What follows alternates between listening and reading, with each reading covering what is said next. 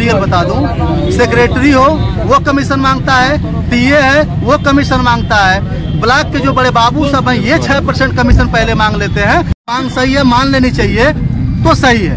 अन्यथा हम हमारा प्रधान अगर आत्मदाह करने के लिए मजबूर है तो मैं भी मजबूर हूँ। ये मेरे साथी मजबूर है कि हम सब आत्मदाह कर लेंगे। सरकार तो तमाम वादा कर रही है कि काम सब ठीक हो रहा है सरकार में। तो सरकार तो अपना नियम बना के देती है। हाँ। उस नियम को कितना फॉलो किया जा रहा है कहीं पे?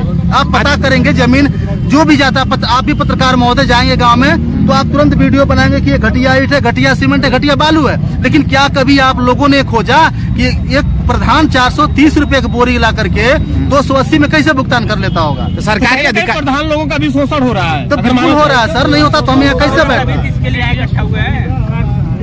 सैतीस सौ सरिया है सरकारी रेट और आठ हज़ार मार्केट में चल रहा है। ब्लॉक पे प्रधानों के द्वारा धरना प्रदर्शन किया गया है। किस तरह का मामला है मैम? ये धरना प्रदर्शन मनरेगा के कार्यों का जो सामग्री अंश आता है, उसके भुगतान से संबंधित धरना प्रदर्शन किया गया है। प्रधानों की मांग थी कि पूर्ण पेमेंट किया जाए, जितनी लाइबिलिटी बनी हुई, लेकिन चूँकि नेटवर्क न ठीक चलने के कारण पूर्ण पेमेंट नहीं हो पाया। चौंतीस लाख का हमने एफटीओ जनरेट करवाया था, जिसमें सत्रह ही लाख तक का पेमेंट हो पाया है। वो पैसा तब तक खत्म हो चुका था।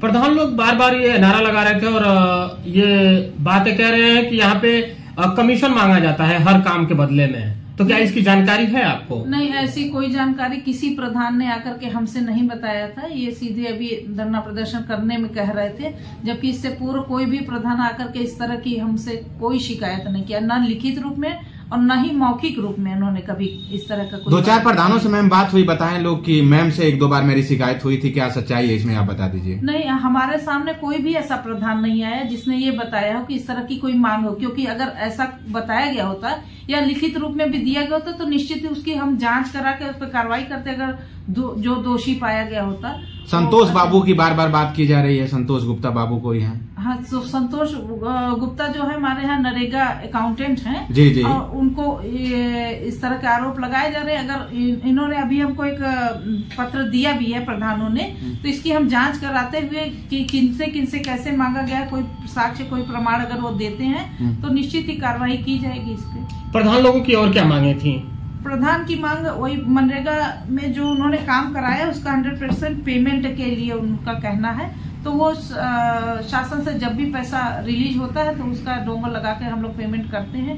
जो लाइबिलिटी बनी हुई है जिसका फीडिंग हमने किया है उन सबका पेमेंट किया जाएगा। क्या यहाँ पे कुछ ऐसी भी मांगे हैं क्या कि यहाँ पे जो कुछ कर्मचारी हैं उनको हटाया जाए तत्काल हाँ, प्रभाव से? हाँ वही नरेगा के जो अकाउंटेंट हमारे संतोष गुप्ता हैं उनको हटाने की मांग इन लोगों ने रखी है हमारे सामने। और सुनील यादव हमारे परमानेंट अकाउंटेंट जो यहाँ पे हैं उनके ये भी इन्होंने लिख के दिया है। किस माम, किस किस मामले को लेकर आप लोग यहाँ पे धरना पे बैठे हैं गेट के ठीक सामने? अभी देखिए नियर अबाउट चार दिन पहले पे वो पैसा आया शासन से। पैसा आने पे यहाँ पे जो बड़े बाबू हैं उन्होंने कहा कि जो पंद्रह परसेंट दे देगा उसका हम भुगतान लगाएँगे और जो नहीं देगा उसका हम नहीं लगाएँगे। ये मामला सबसे पहले आया। और देखिए, उसके बाद उसके बाद मामला ये भी आ गया कि हमारे प्रधान साथी ये जो बैठे हैं, अभी इन्होंने एक काम कराया था अट्ठारह उन्नीस में। नियर अबाउट चार साल होने हो गए और इनका पेमेंट नहीं हुआ। एफडीओ के नाम पे पैसा मांगा गया। एफडीओ न बना करके इनको मजबूर किया गया, इसी ब्लॉक के अंदर कर्मचारियों ने गाली दिया इनको। हमारे प्रधान साथी और जो अपना खुद लेटर लेके जाकर डीएम साहब को दिए और ये पाँच तारीख को अपने आप को आत्मदाह करने की बात कर रहे हैं। जब हम लोगों को पता चला तो हमारा साथी नहीं मरेगा। हम सब मरेंगे आत्मदाह सब करेंगे, केवल हमारा एक साथी नहीं जाएगा।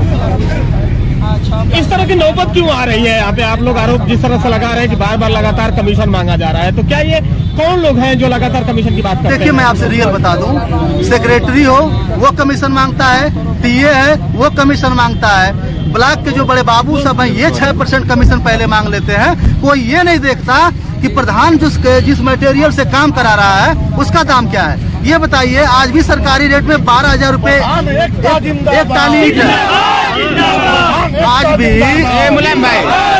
मुलायम। सरकारी रेट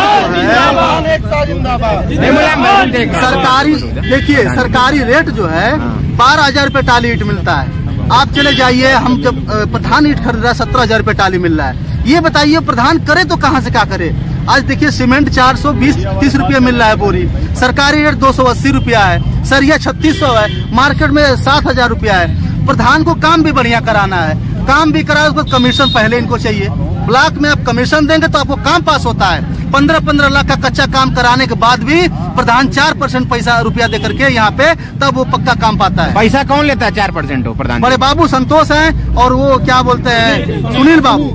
वीडियो साहब से कभी शिकायत आपने की कई बार हम लोगों ने कहा है। वीडियो साहब क्या कहें? उन्होंने कहा कि ठीक है कर्मचारियों को हम लोग हम दबाते हैं। यहाँ के कर्मचारी वहाँ के वीडियो साहब के थोड़े कंट्रोल में भी नहीं है। उनके पीठ पीछे तो पूरा खेल खेला जा रहा है। जो कर्मचारी थे उनसे शिकायत नहीं ये है। अगर ये सुनवाई नहीं होती तो आगे कहाँ तक आप लोगों का धरना जारी हम कहीं नहीं जाएँगे पेट्रोल मंगाया गया अपने ऊपर गिरा के हम लोग आत्मदाह कर लेंगे जिसको सुनना होगा सुने नहीं तो हम लोग को मरने दे मोदी जी के सुशासन में हम लोग आत्मदाह करेंगे हम लोग सामूहिक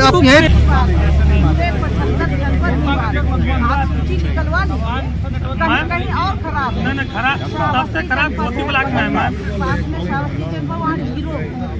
हम मैम लाख जिला में- ज़िले ज़िले की बात सर सर सर घोसी माऊ जिला में केवल घोसी ब्लॉक का ऐसा हुआ कुछ कर हैं ये लोगों में नहीं है सर। वो तो नौ बजे रात उनको साइड नहीं मालूम है कि कौन साइड चलाना है। नहीं जो जो मतलब सत्रह लाख का पेमेंट हुआ जब लगाया गया तभी ना हुआ। मैं भी हम आपसे सत्रह का नहीं मैं हम कह रहे हैं सत्रह लोग पैसा दिए थे मैम। मैं ये कह रहा हूँ सत्रह लोग पैसा दिए थे पहले। बिल्कुल पहले दिया गया हाँ सत्रह लाख पैसा लगा